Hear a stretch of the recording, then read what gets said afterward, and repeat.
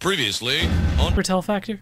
Resident Evil month. Resident Evil 3. I feel like we just did this. I feel like, you know, we just did Resident Evil month, you know, back in January, which was like one of the one of the most fun months for YouTube for me like ever. We got to talk and play Resident Evil all month long because of course Resident Evil is like one of my favorite series of all time. So when Resident Evil 2 remake came out, it was a big deal. And here we are. Resident Evil 3. I can't believe it. And of course, everybody saw this announcement coming. And I kind of I kind of feel bad. Like I wish that leak didn't happen last week. But I mean, it's the age of the internet. Shit happens. But I mean, the game is still coming and it looks amazing. Let's talk about it real quick. The way they announced it was kind of weird, right? They announced technically the multiplayer mode first with Project Resistance. Nobody had any idea it had anything to do with Resident Evil 3, and now it's like the multiplayer mode. That's so strange. And they gave you the old the old bait and switch. Let's take a look at the Project Resistance campaign mode, and then it starts and you're just like, "Hey, wait a second. I got suspicious as soon as they had the clock, you know, showing the showing the events of Resident Evil 2 and then they rewind like a day to Resident Evil 3. What we find out is Resident Evil 3. But of course, the timeline, that's the way it is, right? Resident Evil 3 takes place before and technically after Resident Evil 2. And I was like a little worried at first. I'm just like, oh no, is this like, is Resident Evil 3 just like a tiny little add on to Project Resistance? But no, it's like legit the other way around. It's kind of it's very strange messaging. I think a lot of people were a little a little worried at first, like, oh no, oh no, are they doing Resident Evil 3 dirty? But no, Resident Evil 3, from everything I've seen so far, the trailer, all of the art, the redesigned characters, this looks incredible. Jill, over here.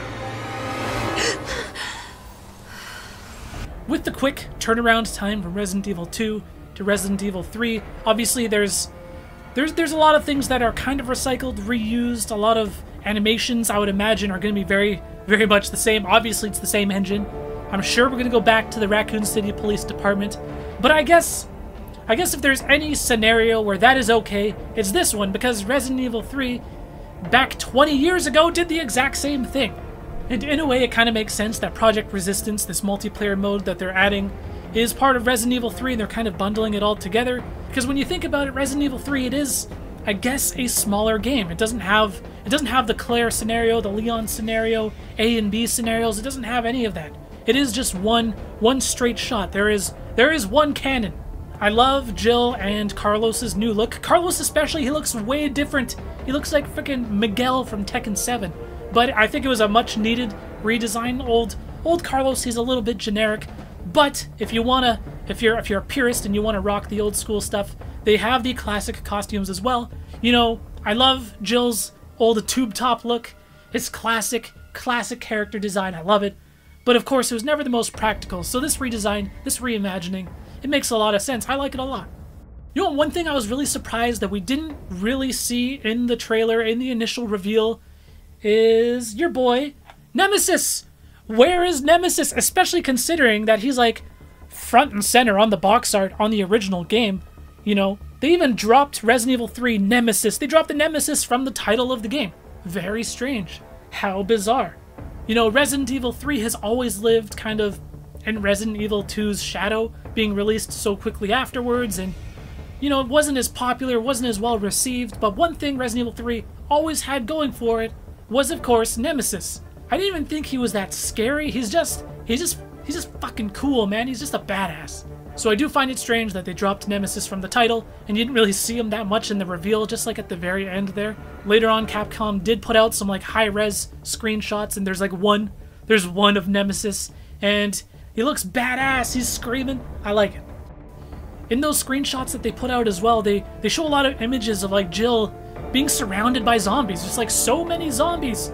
And you know, back again 20 years ago in the original Resident Evil 3, there was a game that I think was the first one to have a much higher emphasis on combat. There was a lot of zombies, there's a lot of ammo, there was a lot of shooting and killing and mowing down zombies, and I think I don't know is that is that the approach they're gonna take with this game as well? Because you also gotta think just like in terms of Resident Evil lore. At this point, Jill is way more capable, way more seasoned than you know Leon and Claire. She's she's a member of Stars. I'm a member of STARS. She's a badass. So it's gonna be interesting to see how they adjust the gameplay. And then, of course, at the very end, you see Jill. She's looking in the mirror. She's in the bathroom. She ain't feeling so hot. And they kind of tease that she might be infected and she's turning. And, you know, I've seen some people online kind of predict that maybe there's like an infection mechanic. I don't think so. You know, in the original game, Jill does get infected.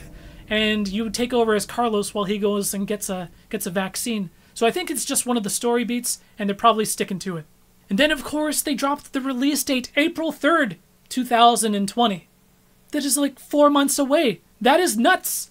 That is insane, and it's such a stacked, like, spring already. It is coming out at such a competitive time.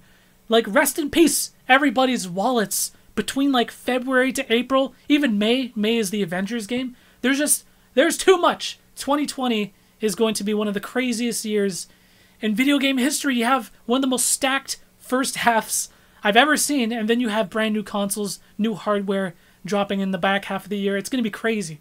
And all I'm hoping for, all I want, is for Resident Evil 3 to be even as good as Resident Evil 2. If it's if it's just as good as that game, then I will be I'll be very happy because Resident Evil 2 was my game of the year for 2019.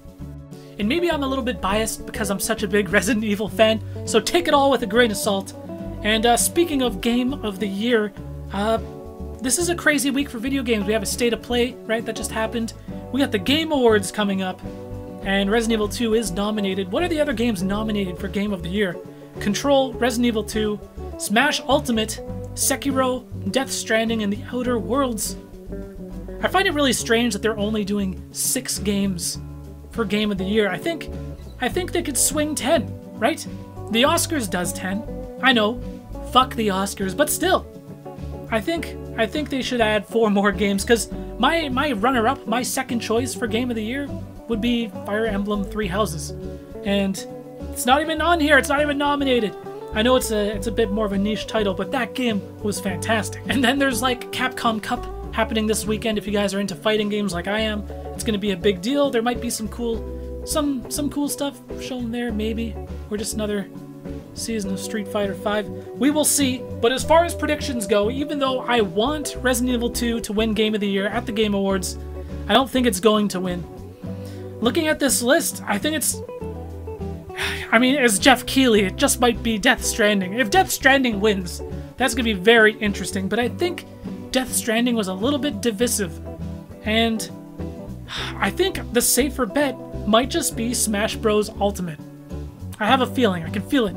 Feel it in my jellies. But let me know what you guys think. What did you think about Resident Evil 3? What do you think is going to win Game of the Year at the Game Awards? And if there's any crazy announcements, Geoff Keighley's been really hyping it up. I guess he hypes it up every every year, right? It's his show. It'd be kind of weird if he didn't. But if there's any crazy announcements, we'll do a follow-up video. Thank you guys so much for watching this one. Peace.